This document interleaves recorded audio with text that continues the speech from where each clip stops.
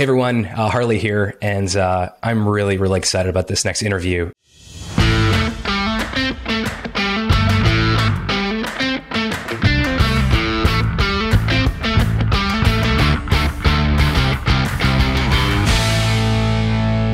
We are just really fortunate to have you here today, so thanks for joining us, Pharrell. Well, thank you. Thank you. Thanks for having me. I, I think that most people who own their own business, they don't always self-identify as an entrepreneur. Um, you know, talk to any. Uh, my, my, parents are immigrants, and talk to them and ask my dad about entrepreneurship. I'll say, "I'm not an entrepreneur. I just put food on the table." But for me, entrepreneurship is this incredible. Um, it, it levels the playing field and it allows people to really, you know, find their their life's work. And I'm curious about the first moment that you felt entrepreneurial. Well, um, I don't know that I've I've always felt entrepreneurial. I think that word entrepreneur has always intimidated me. Me and Jay Z made a song about it. Um, but that word's always intimidated me like it does most other people. Like you said, when you referenced your father, you know, he said he's not an entrepreneur. He said he just puts food on the table because there was something that he felt like he either A could do or that he needed to do, and that it was going to be a means uh, to an end for him.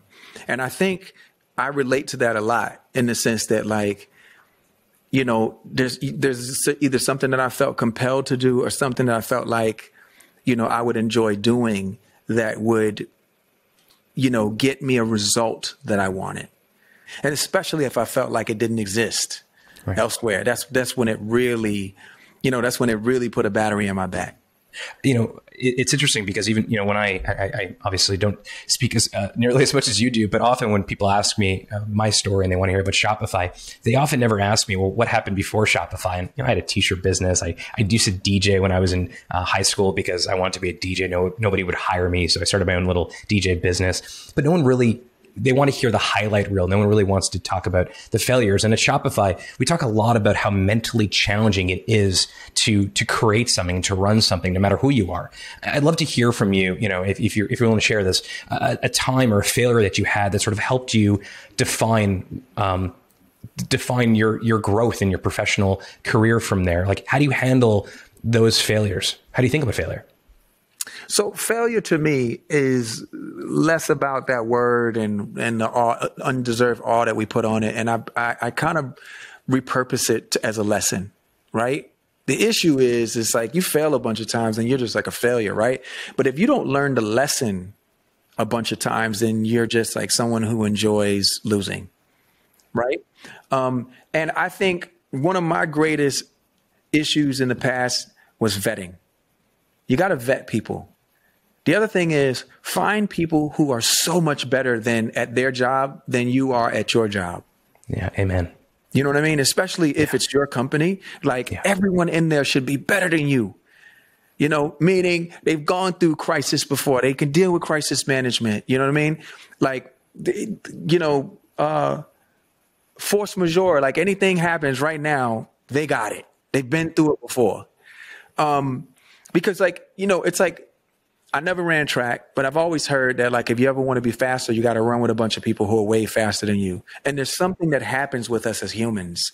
When you are surrounded by those who are like superior in in in in their performance than you are, you're bound to be lifted up if you're as ambitious. If not, yeah. you're wasting everyone's time. Yeah. You know, and so for me, vetting and and doing the work, you know, finding people who are monsters at their job. That's what costed me in a couple of like a you know those were the bumps in my roads. You know, it was like not choosing right, and then by the way, not realizing how blessed I was at the time. You know, um, so and that was only short lived because once I got it, I got it. I vetted the right people. I cherished the relationships when I when I got them, and I've done everything in my power to continue to let these people know how important and how integral they are to you know, my journey. It's funny because I think so many you're talking about, you know, the human condition is that um, we we tend to want to be comfortable, but actually the magic happens where when we get really comfortable with being uncomfortable. And oh, I yeah. think you see a lot of artists and a lot of entrepreneurs, they tend to surround themselves with people just like them. Oh, and yeah. and that may work out, but often it, it doesn't. And actually, when you start surrounding yourself with people that are way better than you, it's something you don't even understand. That's kind of where the magic starts to happen. One hundred percent. And by the way, um, you know, on the other side of your discomfort is where your real true journey begins. You know, when you're walking around, you know, you've decided, you've looked, whether you want to admit it or not, you've decided that you have and I'm talking about the listeners out there right now, but you know, you've decided, oh, this is my walk. Mm-hmm. You know, this is the way I stand. Oh, when I stop, this is how I stop, and this is what I do, and this is what I do with my hand. And when I take my first step, this is what I do, right? That's not really who you are. That's choreographed, and that is practice, and that is what you've decided is the coolest way from your point of view. But the minute that you trip and fall, when you hit that ground, that's who you are. And if you really want to know who you are, it's how you get back up. When you get back up, because you have no cool on you then, right? You're getting yeah. up in, in, in shame or you're getting up in pride. Whatever it is, that's who you really are. And I love that to me, that's what this is all about, right? It's, it's that discomfort. You know, when you ordered too short for the month or, you know, or for the quarter or you've over ordered or, you know, all these things. It's like the way that you react to that is sort of who you are. That's where you're, that's where we can really see a true illustration of your DNA. Yeah, not not when the spotlight's on you. In fact, just to bring it back to something that I think you and I both into, which is skateboarding. Oh, Remember when I was oh, man. a kid and I wanted I wanted to learn how to skateboard. And I asked someone, I said, "So do I ride normal or goofy?" And they're like, we'll, we'll, we'll, we'll let you know. And at some point in the next five minutes, they just pushed me. And whichever foot came forward, they thought that should be the foot. I wasn't right. prepared for it. I wasn't trying to impress them that they were riding goofy, so I was going to ride goofy also. But in that moment, I was so authentically me. And now I know that I, I actually ride goofy. And sort of, yep. it's a great metaphor for, for life. That's exactly right. Skateboarding, yeah. by the way, has always been the lens that I look at everything good, bad, or indifferent. That's what shaped my complete landscape of like perception. You decided, you and your team decided um, with Human Race uh, Skincare to explore uh, sort of this direct to, to consumer, this DTC um, business model versus mm-hmm. doing what I think most people do, which is a collaboration or a partnership with an existing brand or putting it, you know, on the shelves of a third party retailer. What was it around about the sort of selling direct to the end consumer that, that you thought was, was the right way to, to, to launch this? We just always want a direct connection, you know, it says, um, you know, it's direct to consumer, but really it's, you know, that really just means like a personal connection.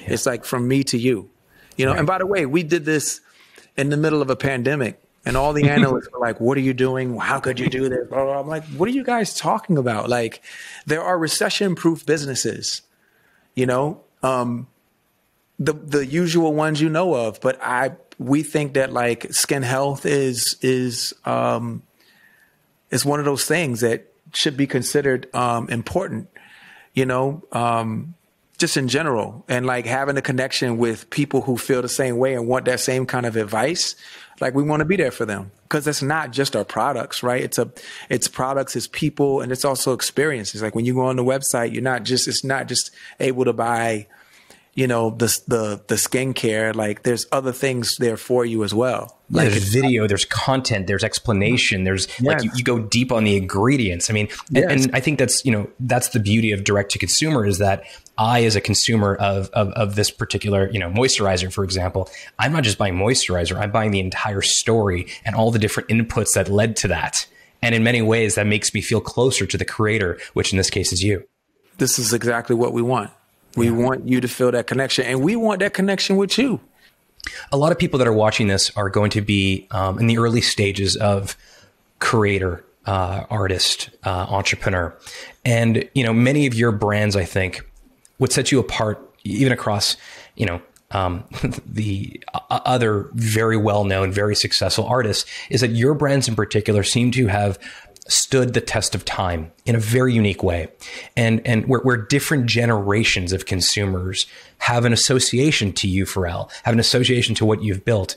And I, would love for you to sort of maybe talk a little bit about how, how, like any advice you have for someone who's just getting started, um, in entrepreneurship or in creating music or creating clothing or, or you know skincare or skin health, um, about building a brand or building a company that is that has longevity to it, that has a longer term impact? So one, find something that you love to do, something that you would do for free, just because you were happy to be there. Like you'd be happy to be an intern, right? Yeah. One. Number two, try to find like a vocation connected to it. Do whatever it takes. Find a vocation that is connected to something that you love so much that you would show up for free, right? So those are two things. Number three, if you can find a way to service humanity as well with that job, well, now you have a dream job that you wake up every day and feel like you get paid for free. And you are also contributing to karma, good karma or goodwill. Like that's the reason why you start a business if you're going to start one. Pharrell, thank you so, so much for this. Um, I can speak for everyone watching, myself included. Uh, I, I, we are, we are inspired by you. Um, we are inspired by what you've done, and honestly, it's not just the success that you've had; it's the way that you've carried yourself with with class and character and authenticity. And um, just want to say thank you. No, thank you. And thank you, thank you for having us up on Shopify. Like this has been a great experience. I don't know if some of the people are already, you know, the people who are on, you already know how great the experience is with Shopify. Um, but if you're thinking about it, let me just tell you, if you're able to come up here and be a part of this platform, you're in great, great, great company. And as I said to you before, you know, surround yourself with people who are better than you. Like this is a university. Shopify. So thank you for having us yeah, here. Thank you for means so much to me. Thank you. My bro.